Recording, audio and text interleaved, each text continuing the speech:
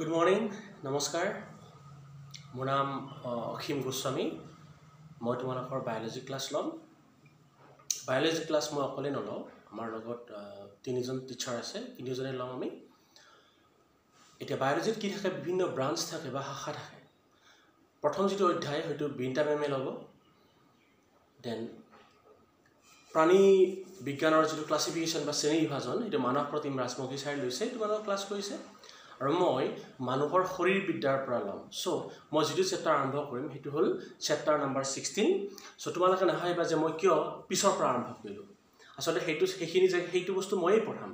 চ' মই ছিক্সটিন পঢ়াম ছেভেণ্টিন পঢ়াম এইটিন পঢ়াম আগৰখিনি বেলেগ টিচাৰে পঢ়াব। চ' এইটো বস্তু তোমালোকে সহজ পাবা যিহেতু আগতে পঢ়িছা তোমালোকে ঠিক আছে? তো মই আৰম্ভ কৰিছোঁ। ক্লাছ টেনত এটা চেপ্টাৰ আছিল সেইটোৰ নাম আছিল মানুহৰ পৰিপুষ্টি। তো মানুহৰ পৰিপুষ্টিত আমি কি পঢ়িছিলোঁ? যে মানুহে যেতিয়া খাদ্য এটা খায় তাৰপিছত কি হয় মানুহৰ যিডাল খাদ্যনলী খাদ্যনলীত সেই খাদ্যসমূহ ভাঙা যায়। ভাঙি পেলাই কি হয় তোমাৰ সৰল অৱস্থালৈ ৰূপান্তৰিত হয়। আৰু সৰল অৱস্থাসমূহ ক'ত গুচি যায় তাৰপিছত খাদ্যনলীৰ পৰা তেজত যায়। তেজে কি কৰে সেই সৰু সৰু খাদ্য কণিকাসমূহ আমাৰ কোষলৈ যোগান ধৰে। এবাৰ কোষত যোগান ধৰাৰ পিছত সেই খাদ্যৰ কণিকাসমূহ শক্তি উৎপাদনৰ বাবে বা দেহ গঠনৰ বাবে কি হয় ব্যৱহাৰ হয়। পৰিপুষ্টি অকল মানুহৰে নহয় প্ৰতিটো জীৱৰ কি হয় পৰিপুষ্টিৰ প্ৰয়োজন হয় জীয়াই থাকিবলৈ।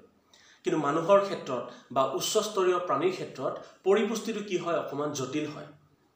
এতিয়া চাবা যেতিয়া মানৱ প্ৰতিম ৰাজবংশী ছাৰে যেতিয়া পঢ়াব এনিমেল ক্লাছিফিকেশ্যন বা প্ৰাণীৰ শ্ৰেণী বিভাজন তেতিয়া তোমালোকে পাবা হাইড্ৰা যে আছে হাইড্ৰা হাইড্ৰা এটা নিম্ন সাপৰ প্ৰাণী হয়।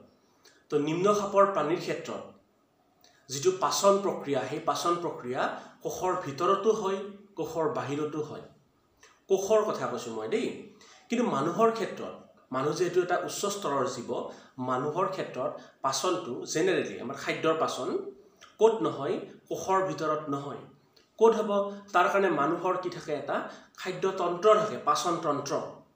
সেই তন্ত্ৰৰ মুখ্য উপাদান কি হয়? খাদ্যনলী আৰু খাদ্যনলীৰ ভিতৰৰ চৰাত কি হয়? পাচন সংঘটিত হয়। হৈছেনে? এতিয়া আমি কি কৰিম? আমাৰ যিটো পাচন তন্ত্ৰ সেইটো একেলগে ডিছকাছ কৰি যাম আৰু বিভিন্ন পাৰ্টত হোৱা পাচন প্ৰক্ৰিয়াও আমি কি কৰিম? একেলগে ডিছকাছ কৰিম। হৈছেনে? ঠিক আছে বাৰু। চ' পোনপ্ৰথমে আহিল যে পাচন মানে কি? তোমালোকে চাবা যেতিয়া আমি এসাঁজ ভাত খাওঁ তাত আমি কি কি বস্তু খাম? ভাত যদি খাওঁ তাত কি থাকিব? চেতসাৰ যদি তাত অকণমান মাছ বা মঙহ থাকে তাত কি থাকিব? প্ৰ'টিন। যদি অকণমান তাত তেল থাকে তেনেহ'লে সেইটো কি হৈ গ'ল? স্নেহ পদাৰ্থ। তো এই গোটেইবিলাক বস্তু যেতিয়া আমি খাওঁ সেই বস্তুবিলাকৰ ডাঙৰ ডাঙৰ টুকুৰা আমি খাওঁ যিটো কোষৰ ভিতৰত সোমাই যোৱা পচিবল নহয়। খাদ্যনলীত কি হ'ব? চেতসাৰ ভাঙি পেলাই গ্লুক'জ উৎপন্ন হ'ব। প্ৰ'টিন ভাঙি পেলাই কি উৎপন্ন হ'ব? Amino' acid. স্নেহ পদাৰ্থ ভাঙি পেলাই কি উৎপন্ন হ'ব? ফেটি এচিড আৰু গ্লিচাৰল। চ' যি প্ৰক্ৰিয়াৰ জৰিয়তে খাদ্যৰ জটিল অণুসমূহ ভাঙি সৰল অৱস্থালৈ ৰূপান্তৰিত হয় তাক আমি কি বুলি কওঁ? পাচন বুলি কওঁ। মনত থাকিলে যি প্ৰক্ৰিয়াৰ জৰিয়তে খাদ্যৰ জটিল অণুসমূহ ভাঙি সৰল অৱস্থালৈ ৰূপান্তৰিত হয় তাক আমি কি বুলি ক'ম পাচন বুলি ক'ম হৈছে? পাচন কিমান প্ৰকাৰৰ? দুই প্ৰকাৰৰ। প্ৰথমটো কি? এটা হ'ল কোষীয় পাচন। যি পাচন প্ৰক্ৰিয়া কোষৰ ভিতৰত সংঘটিত হয় তাক আমি কি বুলি ক'ম? কোষীয় পাচন। আৰু এটা কি হ'ব? বহিঃকোষীয় পাচন। যি পাচন প্ৰক্ৰিয়া কোষৰ ভিতৰত নহয় কোষৰ বাহিৰত হয় তাক আমি কি বুলি ক'ম? বহিঃকোষীয় পাচন বুলি ক'ম। মানুহৰ ক্ষেত্ৰত কোনটো হ'ব? বহিঃকোষীয় পাচন কিয় চাবা? এইডাল মানুহৰ খাদ্যনলী হৈছেনে? তো ইয়াতে ধৰি লোৱা খাদ্যৰ বস্তুবিলাক আহিল মানে প্ৰ'টিন আহিল এতিয়া মানুহৰ কি হ'ব? খাদ্যনলীৰ পৰা উৎসেচক ওলায়। উৎসেচক। এই লোৱা এইটো প্ৰ'টিন অণুটো প্ৰ'টিনৰ অণু এইটো। এই উৎসেচকবোৰে প্ৰ'টিনৰ অণুটো কি কৰিব? ভাঙি দিব। এই ভাঙন প্ৰক্ৰিয়াক আমি কি বুলি ক'ম? পাচন বুলি ক'ম। আৰু পাচনটো ক'ত সংঘটিত হৈছে তোমালোকে কোৱা? খাদ্যনলীৰ বেৰত থকা কোষসমূহৰ ভিতৰত নে বাহিৰত হৈছে? বাহিৰত হৈছে ন? কোষৰ বাহিৰত হৈছে। তাক আমি কি বুলি ক'ম? বহিঃকোষীয় পাচন বুলি ক'ম। তো পাচনৰ কিমানটা টাইপ পালা তোমালোকে? দুটা। এটা কোষীয় আৰু এটা বহিঃকোষীয় পাচন হৈছে? বঢ়িয়া এতিয়া আমি পঢ়িম মানুহৰ খাদ্যনলীৰ বিভিন্ন অংশসমূহ। তো চোৱা খাদ্যৰ হজম প্ৰক্ৰিয়াটো আমি ক'ৰ পৰা আৰম্ভ হয়? মুখৰ পৰা আৰম্ভ হয়। চ' খাদ্য নলীৰ প্ৰথম পাৰ্টটোৰ নাম কি? প্ৰথম অংশটোৰ নাম কি? মুখ গহ্বৰ কি হ'ব?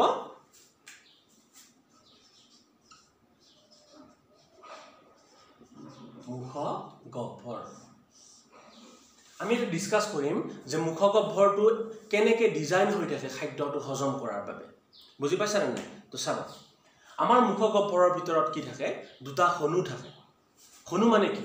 হনু মানে হ'ল এনেকুৱা হাড় যিটো হাড়ত আমাৰ দাঁতসমূহ লাগি থাকে। চ' আমি হনুধাৰী জীৱ হয় চ' দুটা হনু থাকে ওপৰৰ আৰু এটা তলৰ হনু হৈছেনে হনুত কি থাকিব? মানুহৰ দাঁত লাগি থাকে। এতিয়া মানুহৰ দাঁতবোৰৰ কাম কি সেইটো আমি পিছত পঢ়িম। প্ৰথমতে পঢ়োঁ যে মানুহৰ দাঁতবিলাক কেনেকুৱা হয় তাৰ সাজন কেনেকুৱা হয়। তো চাবা দেই ধৰি লোৱা এইটো হ'ল ওপৰৰ হনু আৰু হনু মানে কি বুলি কৈছিলোঁ মই এতিয়া হাড় হাড় বুলি কৈছোঁ নাই? হাড় মানে বন হয়নে?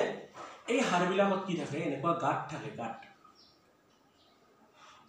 দেখিছে নাই? এইটো গাঁত হয়নে নহয়? আৰু এই গাঁতৰ ভিতৰত দাঁতটো এনেকৈ সোমাই থাকে। অৰ্থাৎ মই কি ক'ব বিচাৰিছোঁ যে মানুহৰ যিটো হনু আছে হনুৰ ভিতৰত কি থাকে? গাঁত থাকে। গাঁত আৰু গাঁতৰ ভিতৰত আমাৰ দাঁতবিলাক সোমাই থাকে। চ' তোমাৰ বত্ৰিছটা দাঁত আছে বুলি ধৰি লোৱা। তোমাৰ বত্ৰিছটা দাঁত আমাৰ হনুৰ ভিতৰত থকা গাঁতত সোমাই থাকে। সেইকাৰণে মানুহৰ যিটো দন্তবিন্যাস সেই দন্তবিন্যাসক আমি কি বুলি কওঁ? গৰ্তদন্তী বুলি কওঁ। গৰ্তদন্তী ইংৰাজীত কি বুলি কোৱা হয়? ঠেকো দন্ত বুলি কোৱা হয়। ঠেকো দন্ত মনত ৰাখিবা এইটো। বুজি পালে নাই? তো যি দন্তবিন্যাসত বা দন্ত সাজনত দাঁতসমূহ হনুৰ গাঁতৰ ভিতৰত সোমাই থাকে তাক আমি কি বুলি কওঁ? গৰ্ত দণ্ডী দন্তী বুলি কওঁ। গৰ্ত দন্তী। হৈছেনে ঠিক আছে নেক্সটটো চাবা এতিয়া। মানুহৰ ক্ষেত্ৰত মানুহৰ ক্ষেত্ৰত জীৱনকালত দাঁত কেইবাৰ আহে? দুবাৰ দাঁত আহে। জন্মৰ পিছত যিটো দাঁত আহিব তাক আমি গাখীৰ দাঁত বুলি কওঁ। আৰু গাখীৰ দাঁতসমূহ কেতিয়াও স্থায়ী নহয় দেই। গাখীৰ দাঁতসমূহ কি হ'ব কোৱাচোন? এটা বয়সৰ পৰা সৰিবলৈ আৰম্ভ হ'ব। হৈছেনে? গাখীৰ দাঁত সৰি যোৱাৰ লগে লগে আৰু এবাৰ কি আহে? দাঁত আহে। তাক আমি কি বুলি কওঁ? স্থায়ী দাঁত বুলি কওঁ। চ' দাঁত কেইবাৰ আহিব? দুবাৰ আহিব। যেতিয়া এটা জীৱৰ জীৱনকালত দুবাৰ দাঁত আহে তাক আমি কি বুলি কওঁ? দিবাৰ দন্তী বুলি কওঁ। ইংৰাজীত কোৱা হয় ডাইফায়ডণ্ট আৰু অসমীয়াত কি বুলি ক'ম? দিবাৰ দন্তী বুলি কোৱা হয়। তো আমি কি গম পালোঁ যে মানুহৰ দাঁতসমূহ হনুৰ ভিতৰত থকা গাঁতত সোমাই থাকিব চ' গৰ্তদন্তী আৰু মানুহৰ দাঁত দুবাৰ আহে সেইকাৰণে কি হ'ব? দিবাৰ দন্তী বুলি কোৱা হয়। মই থাকিব নাই এইটো? ঠিক আছে। এতিয়া কিছুমান জীৱ আছে যেনে এলিগেটৰ এলিগেটৰ বা কিছুমান হাংগৰ বা শ্বাৰ্ক আছে। সিহঁতক তুমি গালি পাৰিব নোৱাৰা। বোলে তোক ঘোচা মাৰি দাঁত ভাঙি দিম বুলি। কিয় কোৱাচোন? সিহঁতে খাতি নকৰে। এতিয়া মানুহৰ ক্ষেত্ৰত তুমি যদি ঘোচা মাৰি পেলাই দাঁত ভাঙি দিয়া চাৰ দাঁতটো নাহে হয়নে নহয়? কিন্তু হাংগৰৰ দাঁতটো সদায় আৰু নতুনকৈ আহি থাকে। চ' সি ক'ব ভাঙা যদি ভাং আই ডোণ্ট কেয়াৰ আকৌ আহিবই। বুজি পাইছে নাই? ঠিক আছে। নেক্সট আহিল মানুহৰ দাঁতটোৰ কালাৰ কি হয় বগা হয় হয়নে নহয়? আচলতে নহয়। মানুহৰ দাঁতৰ যিটো বাহিৰৰ আৱৰণ সেই আৱৰণখনক আমি কি বুলি কওঁ? এনামেল বুলি কওঁ। এনামেল এনামেল বুজি পাইছেনে নাই? এই এনামেলখন হ'ল মানুহৰ দেহত থকা একদম হাৰ্ডেষ্ট বস্তু মানে এক চবাতকৈ টান পদাৰ্থবিধৰ নাম কি হ'ব? এনামেল। এনামেল সাধাৰণতে ইমান সহজে ক্ষয় নাযায়। আৰু তাৰ কালাৰটো কি হয়? আচল কালাৰ হয় এনামেলৰ একদম ইখত হালধীয়া অকণমান হালধীয়া হয়। তো মানুহৰ একচুৱেল দাঁতৰ কালাৰ কি হ'ব লাগে? ইখত হালধীয়া হ'ব লাগে অকণমান। বুজি পাইছেনে নাই? কিন্তু কি হয় যে আমি যেতিয়া খোৱা বস্তু খাওঁ দাঁতৰ কাষত যদি খোৱা বস্তু ৰৈ যায় অনুজীৱৰ দ্বাৰা কি হয়? কিন্নন প্ৰক্ৰিয়া হয়। কিন্নন প্ৰক্ৰিয়া হ'লে কি উৎপন্ন হ'ব কোৱাচোন? এচিড। বুজি পালা? এচিড উৎপন্ন হ'ব। তো যেতিয়া এচিড উৎপন্ন হ'ব আৰু এচিডৰ মান যদি ফাইভ পইণ্ট ছিক্সতকৈ কমি যায় আমি জানো যে হাতৰ তলত কি হয়? এচিড হয়। হাতৰ ওপৰত কি হয়? খাৰ হয়। তো যেতিয়া এচিডৰ মান ফাইভ পইণ্ট ছিক্সতকৈ কমি যায় তেতিয়া লাহে লাহে কি হ'ব? এনামেলটো ক্ষয় হ'বলৈ আৰম্ভ কৰে। তাক আমি কি বুলি কওঁ? দন্তক্ষয় বুলি কওঁ। দন্তক্ষয়। চ' দন্তক্ষয় হ'বলৈ কি হ'ব লাগিব? এচিড থাকিব লাগিব। আৰু এচিডৰ পৰিমাণ মানে পি এইচটো ফাইভ পইণ্ট ছিক্সতকৈ কি হ'ব লাগিব? কম হ'ব লাগিব। সেইকাৰণে যদি কি কৰা যায় যে ৰাতিপুৱা আৰু গধূলি এবাৰ ব্ৰাছ কৰা যায় তো আমি কলগেট ইউজ কৰোঁ নে নাই? কলগেটত কি থাকে? খাৰ হয় এইটো। তো দাঁতৰ চাৰিওফালে কি হ'ব? সাৰৰ এটা প্ৰলেপ থাকিব। ফলত এচিডক কি কৰিব? নিউট্ৰিলাইজ কৰিব বা প্ৰশমিত কৰিব। সেইকাৰণে দুবাৰ দাঁত ব্ৰাছ কৰিলে কি নহয়? দাঁতত দন্তক্ষয় নহয়। আৰু এইটো কথা তোমালোকে মন কৰিবা। হৈছে? বুজি পালা? চ' আমি কি পঢ়িলোঁ? দাঁতৰ বিষয়ে পঢ়িলোঁ চাওঁ আমি পঢ়িলোঁ গৰ্দদন্তি কি? আমি পঢ়িলোঁ দিবাৰদন্তি কি? আমি পঢ়িলোঁ যে দাঁতৰ বাহিৰৰ লেয়াৰটো কিহেৰে ফৰ্মেশ্যন হয়? এনামেলেৰে ফৰ্মেশ্যন হয়। হৈছে? এতিয়া আমি পঢ়িম মানুহৰ দন্তসূত্ৰ অ চৰি মানুহৰ দাঁতৰ প্ৰকাৰ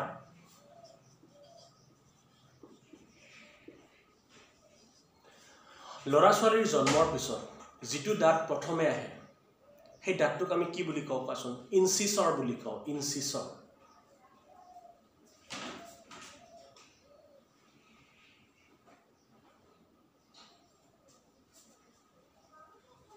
অসমীয়াত কি বুলি কোৱা হয়? কৃন্তক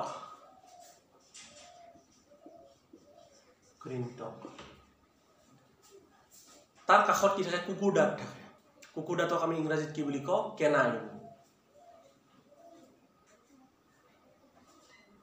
অসমীয়াত কোৱা হয় চেডক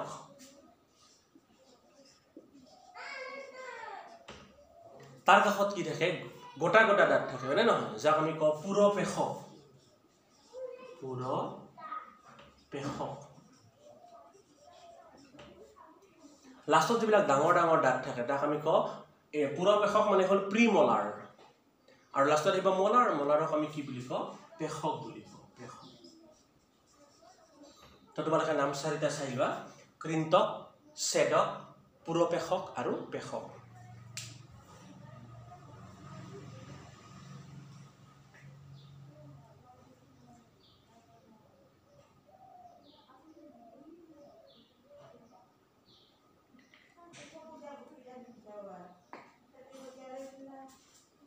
হৈছেনে এতিয়া তোমালোকৰ দাঁত কিন্তু বত্ৰিছটা নাই কিন্তু প্ৰাপ্তবয়স্ক মানুহৰ দাঁত কিমানটা থাকে? বত্ৰিছটা থাকে হয়নে নহয়? তো বত্ৰিছটা দাঁত আচলতে আমাৰ দাঁতৰ হনুত কেনেকৈ সজ্জিত হৈ থাকে চাবা তোমালোকে ধৰি লোৱা এইটো হ'ল ঊৰ্ধ হনু আৰু এইটো হ'ল নিম্ন হনু। হৈছে? মই মাজেৰে ভাগ কৰি দিছোঁ। হৈ গ'ল? ইয়াতে কৃন্তক থাকিব কেইটা? দুটা কৃন্তক থাকিব চেদক থাকিব এটা পুৰপেশক থাকিব দুটা পেশক থাকিব তিনিটা। হৈছেনে? ইয়াতো থাকিব দুটা কৃন্তক এটা থাকিব চেদক পুৰপেশক দুটা পেশক থাকিব তিনিটা। হৈ গ'ল? তো ওপৰত চোৱা কিমানটা হ'ল? আঠটা। তলত কিমানটা হ'ল? আঠটা। অৰ্থাৎ আধা অংশত কিমানটা হ'ল? ষোল্লটা। এইফালে কিমানটা থাকিব? ষোল্লটা থাকিব। চ' ইয়াকে আমি কি বুলি কওঁ? দন্তসজ্জা বুলি কওঁ বা কি বুলি দন্তসূত্ৰ বুলি কওঁ আমি। ইংৰাজীত কোৱা হয় ডেণ্টেল ফৰ্মুলা বুলি কোৱা হয়। তো তোমাক যদি পৰীক্ষাত সোধে যে মানুহৰ ডেণ্টেল ফৰ্মুলা বা দন্তসূত্ৰ কি তুমি কি লিখিবা? Two one two three two one two three চাই লোৱা।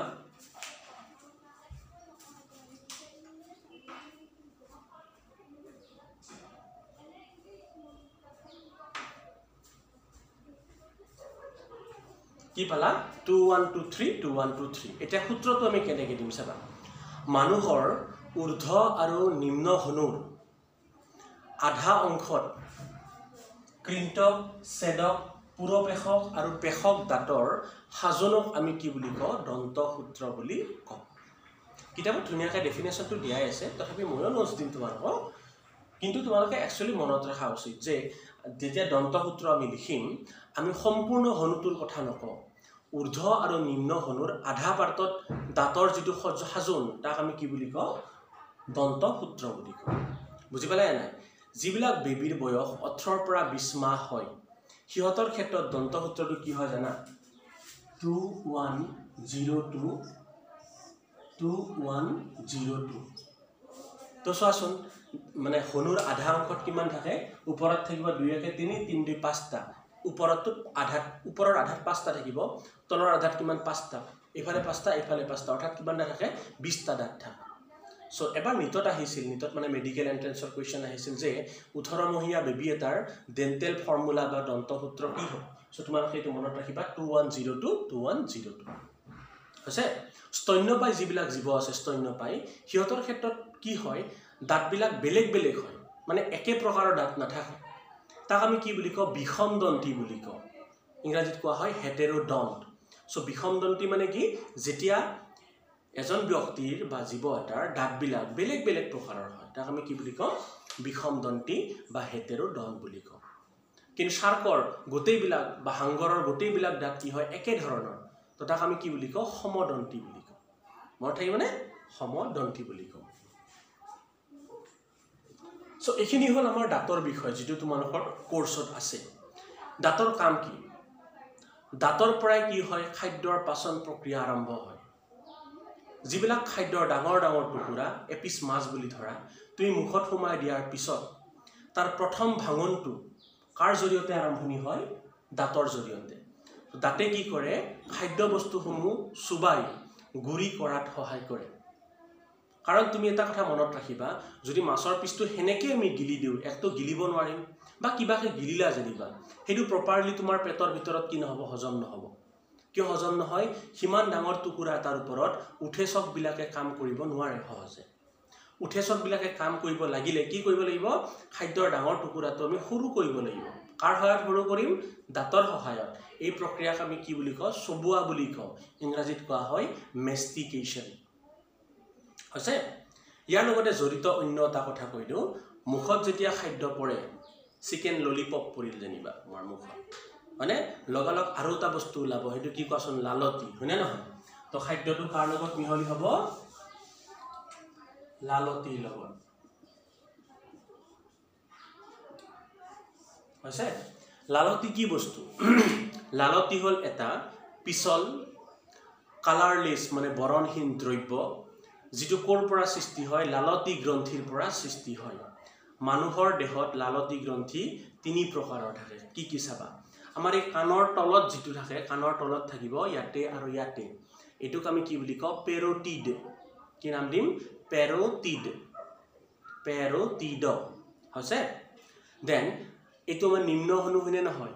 এইটো নিম্ন হনুৰ এংগল এংগল মানে এইটো কোন হয়নে নহয়? ইয়াতে থাকিব যাক আমি কওঁ চাব মেক্সিলাৰী অসমীয়াত চাব মেক্সিলাৰী বুলি কোৱা হয়। হৈছে আৰু আমাৰ জিভাৰ তলত থাকে যাক আমি কি বুলি কওঁ? চাব লিংগুৱেল তো কি কি পালোঁ? পেৰটিড চাব মেক্সিলাৰী আৰু চাব লিংগুৱেল তো কিমান প্ৰকাৰৰ? লালতি গ্ৰন্থি থাকিল তিনি প্ৰকাৰৰ। হৈছে? এই যে মানুহৰ যে মামছ বেমাৰ হয় মুখখন যে ফুলি উঠে পিঠা খোৱা বুলি কয় তো সেই বেমাৰত কি হ'ব? পেৰটিড গ্ৰন্থিত মানে সংক্ৰমণ হয় অনুজীৱৰ সংক্ৰমণ হয় বা ইনফেকশ্যন হয়। ইনফেকশ্যন হ'লে মুখখন ফুলি যায়। তো এইটো মনত ৰাখিবলগীয়া কথা যে মামছ বেমাৰত কোনযোৰ লালতি গ্ৰন্থি কি হয় আক্ৰান্ত হয় কোনযোৰ হ'ব? পেৰটিড গ্ৰন্থি আক্ৰান্ত হ'ব। বুজি পাইছে নাই? বঢ়িয়া কথা। আমি পালোঁ যে খাদ্যটো মুখত যোৱাৰ লগে লগে লালতি গ্ৰন্থিৰ পৰা ওলোৱা লালতি কি হ'ব? খাদ্যৰ লগত মিহলি হ'ব। তাৰপিছত আমি কি কৰিম? দাঁতেৰে চুবাম। চুবাই পেলাই কি কৰিম? খাদ্যটো গুৰি কৰিম। এতিয়া কি হ'ব চাবা? লালতিটো অকণমান আঠা আঠা বস্তু হয়নে নহয়?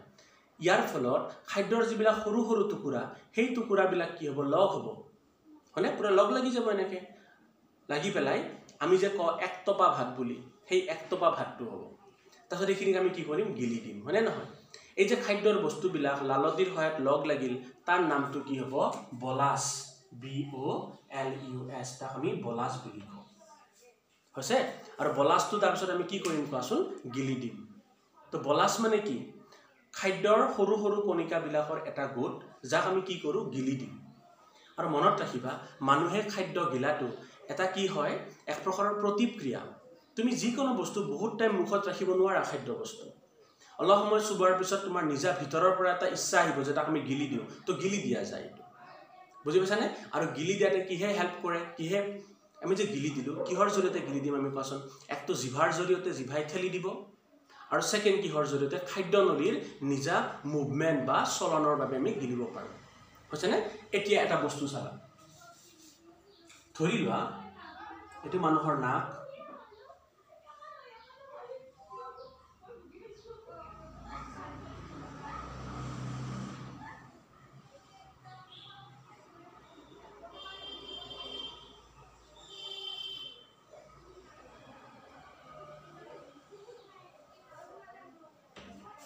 এই ডায়েগ্ৰামটোলৈ মোক মন কৰিবা। এইডাল যে আছে ওপৰৰ পাইপডাল সেই পাইপডাল কি হয়? মানুহৰ শ্বাসনলী এইটো হ'ল মানুহৰ মুখগহ্বৰ তো তুমি যেতিয়া খাদ্যটো গিলি দিবা ই তললৈ আহিব হয়নে নহয়? ওপৰলৈ কিয় নাযায়? যদি আমি খোৱা খাদ্যটো তলৰ ফালে নাযাই পেলাই ওপৰলৈ গুচি যায় ওপৰ ওপৰতো ফুটা আছে তেতিয়া খাদ্যবস্তুৰ নাকেৰে ওলাই আহিব। বুজি পাইছানে নাই? তো ওপৰত কিয় নাযায়? কাৰণ ইয়াতে কি থাকে কোৱাচোন? এখন আলজিভা থাকে মুখখন মেৰিলে গম পাবা এনেকৈ লটকি থাকে হয়নে নহয়? আলজিভা বুলি কওঁ। আলজিভাই কি কৰে? খাদ্যবস্তুসমূহ নাহা ৰন্ধ্ৰত যাবলৈ বাধা দিয়ে মনত ৰাখিবা। হৈছে? ইয়াৰ উপৰিও আৰু এটা বস্তু চাবা।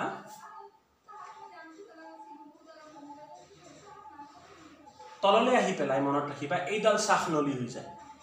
এই শ্বাসনলীৰ এই পাৰ্টটোক আমি কি বুলি কওঁ? স্বৰযন্ত্ৰ বুলি কওঁ এইটো। হয়নে নহয়? ইংৰাজীত আমি কি বুলি কওঁ? লেৰিংছ বুলি কওঁ। এইখিনি জেগাক কি বুলি কয়? ফেৰিংছ।